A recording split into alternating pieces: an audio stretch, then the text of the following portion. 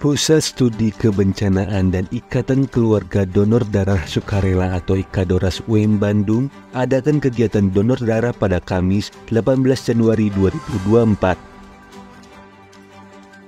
Berlokasi di lantai 2 gedung UM Bandung, acara tersebut diikuti oleh puluhan peserta mulai dari mahasiswa, dosen, tendik, hingga masyarakat umum.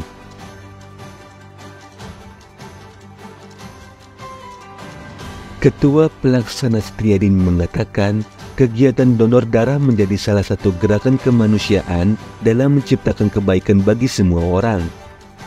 Kegiatan tersebut menurutnya dapat menjaga kesehatan tubuh dari berbagai penyakit.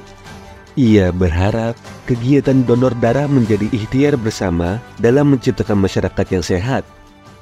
Kami mengajak seluruh rekan-rekan uh, Sipitas Akademi uh, Sipitas Universitas Muhammadiyah Bandung dari dosen, uh, tenaga kependidikan, mahasiswa, tendik, ya, dan uh, masyarakat lain yang hari ini juga alhamdulillah ada beberapa ma uh, masyarakat umum yang hadir untuk mengikuti kegiatan donor darah sukarela yang insya Allah ini menjadi gerakan kemanusiaan untuk uh, kebaikan kita semua. Dan itu hasil riset kita dan uh, itu merupakan hal-hal yang akan selalu kita kembangkan, akan selalu kita ajak kepada uh, seluruh sivitas untuk menjadi pendonor darah sukarela. Salah satu peserta donor darah yakni Wakil Dekan FEB UM Bandung Budi Sadarman sangat mengapresiasi kegiatan tersebut.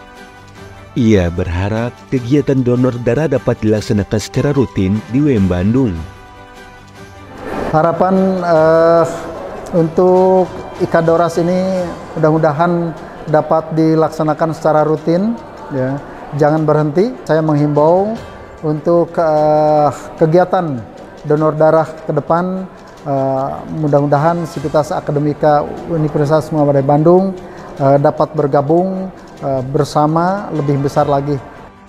Dari Bandung tim promosi dan PMBWM Bandung memberitakan